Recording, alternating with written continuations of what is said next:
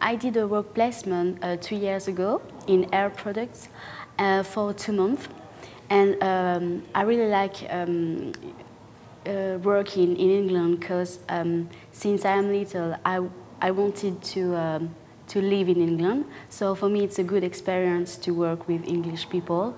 And um, uh, I live in the campus, so I saw the atmosphere of um, the campus and I really enjoy because uh, people are friendly and um, they are um, very welcoming.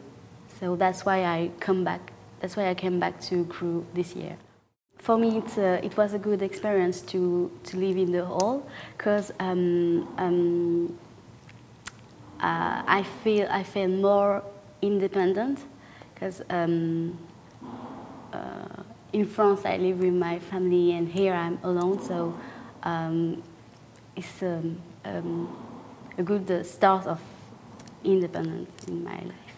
I think that um, here the teachers um, are care about the students more than in France so that's why I, um, I like here but I want to uh, do a master here because I want to stay in England and I really want to improve my English.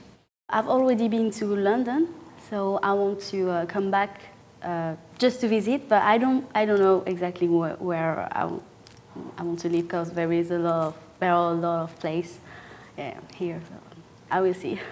There is a, a lot of help here.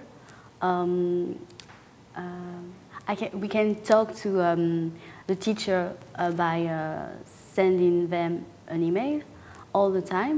So, for example, before the assignment, we can meet we can meet them. So, if you have questions, we have the answer. I live in Paris.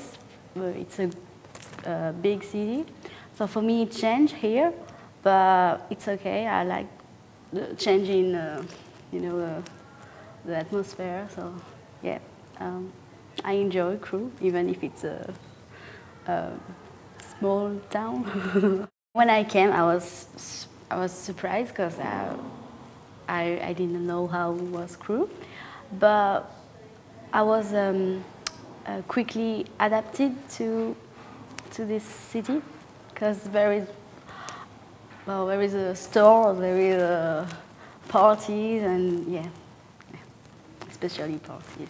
Yeah.